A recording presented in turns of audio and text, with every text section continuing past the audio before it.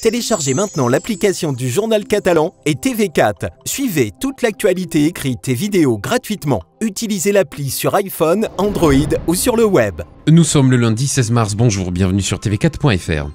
Un premier décès dans l'Aude lié au coronavirus a été annoncé hier par l'Agence régionale de santé. Il s'agit d'un homme de 76 ans qui avait été admis suite à un test positif au Covid-19.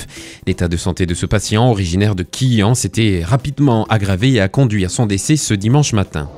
Alors que le président Emmanuel Macron a appelé les Français à limiter les déplacements et éviter toutes sortes de réunions amicales ou familiales, le message n'a pas forcément été compris par tous les Français. Dimanche, beaucoup d'entre eux ont poursuivi leurs activités comme si de rien n'était, profitant du soleil, parfois en groupe, sans prendre la mesure du risque de propagation du coronavirus.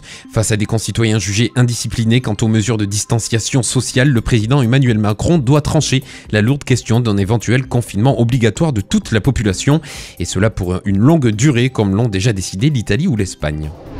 À Perpignan, Louis Alliot est arrivé en tête du premier tour des élections municipales. Comme différents sondages l'avaient prédit ces dernières semaines, le candidat du RN totalise ce dimanche soir 35,65% des suffrages dans la capitale catalane. Le maire sortant Jean-Marc Pujol obtient quant à lui 18,43% des voix devant Agnès Langevin avec 14,51% et Romain Gros, la République en marche à 13,17%. On se dirige donc pour l'instant vers une quadrangulaire au second tour à Perpignan. Louis Alliot a lui annoncé l'arrêt de sa campagne se prononçant pour un report du second tour au vu des circonstances sanitaires exceptionnelles.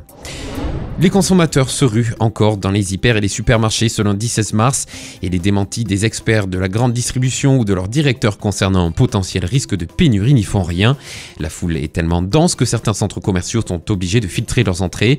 Dans certaines enseignes locales, les directeurs sont obligés de fermer une partie de leurs magasins pour éviter une trop grande concentration de consommateurs ou encore d'installer des plexiglas en caisse pour éviter les contacts entre les employés et la clientèle.